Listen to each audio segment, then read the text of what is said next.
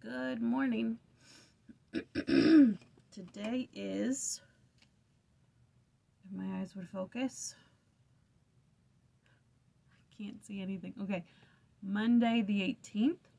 And before we get started on our daily reflection, um, our little challenge, we have six weeks until it's over. And so, for those six weeks, I apologize to those of you who watch every day. This may get repetitive, but I want to remind or maybe tell those who don't watch every day that the Book of Mormon Challenge is coming up, that I am making the journals. I'm only making 12.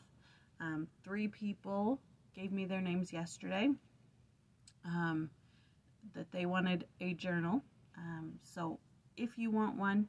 I'm only making 12. Get me your name soon. Um, and then I'm shipping out at the end of October. We're, we're going to finish the challenge, the New Testament challenge for November and December, but I'm shipping out end of October. So if you would like a journal, please get me your name. Um, you can comment below or email it to me. Commenting below is perfectly fine. Um, and that's all. All right, let's get started. Um, I got the schedule all set, and I, it's going to be great. It's going to be good. Um, it's just the way that the Book of Mormon works out. But near the end in December, we're going to have some free days. So that'll be nice. All right. Um, I said it's the 18th. Yes, it is. Okay. And it came to pass that while they communed together and reasoned, Jesus himself drew near and went with them, but their eyes were holden that they should not know him. Luke chapter 24, verse 15 and 16. We live in this world almost unaware that just beyond the veil are those who love us and minister in our behalf. When he was sustained as 11th president of the church, President Harold B. Lee said, There has been here an overwhelming spiritual endowment, attesting, no doubt, that in all likelihood we are in the presence of personages, seen and unseen, who are in attendance, who know who knows but that even our Lord and Master would be near us on such an occasion as this, for we and the world must never forget that this is His church, and under His almighty direction we are to serve. The Lord said, Behold, verily, verily, I say unto you that mine eyes are upon you. I am in your midst, and ye cannot, and ye cannot see me. um.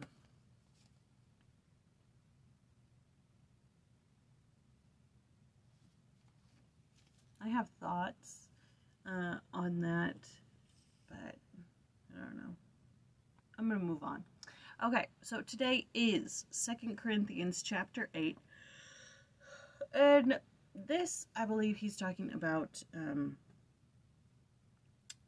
charity, but like, um, but more like uh, helping the needy. Um, that's what I'm getting from the chapter anyway. Uh, true saints impart of their substance to the poor. Christ out of his poverty brought eternal riches. So that is what I got from the chapter. Sorry. My All right. So, the verse I chose for my personal statement is 14.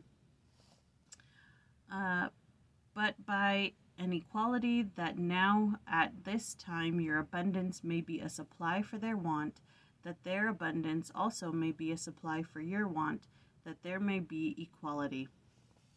Um, my personal statement is I am blessed. I must share that blessing with those who lack.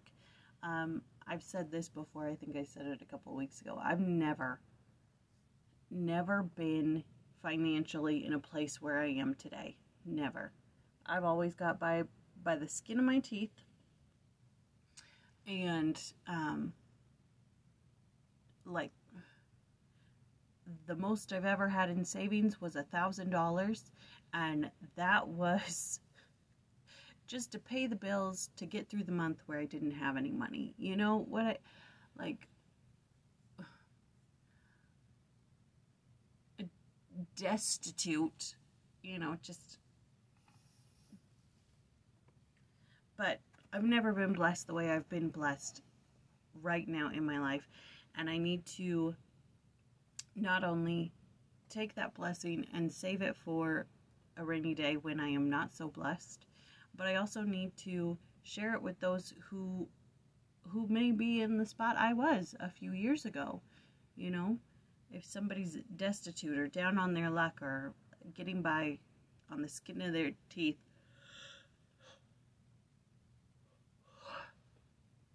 then I need to share my abundance, share my blessing. Would I have accepted charity from somebody else during that time? No, absolutely not.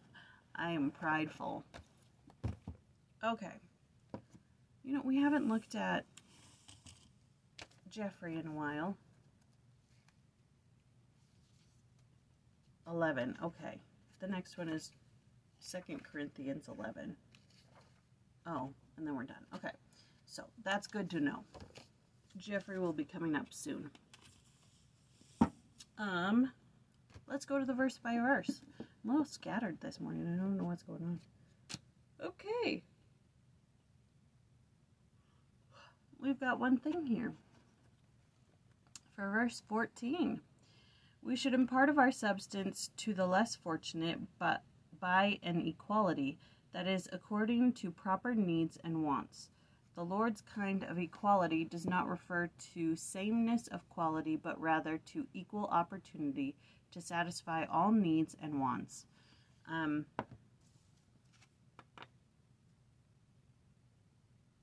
it, it reminds me of uh,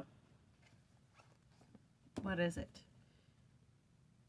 The law of consecration, and, and when the early saints lived it, it wasn't that this family got a bag of flour and uh, you know two cows and blah blah blah. And then this family got a bag of flour and two cows.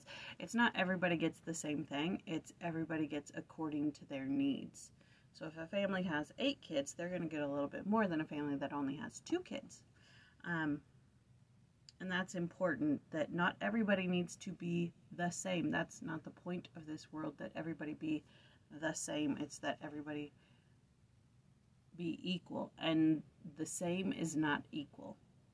Okay. I will leave you now with a prayer from diary of prayer. It is the 18th. This one is from Bishop Cotton of Calcutta.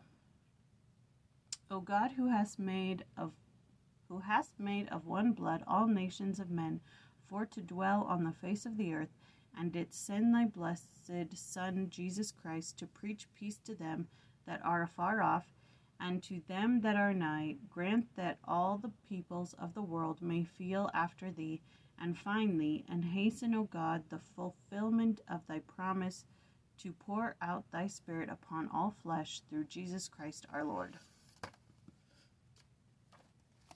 All right that was Second Corinthians chapter 8, and tomorrow we do chapter 9. We will see you then. Bye.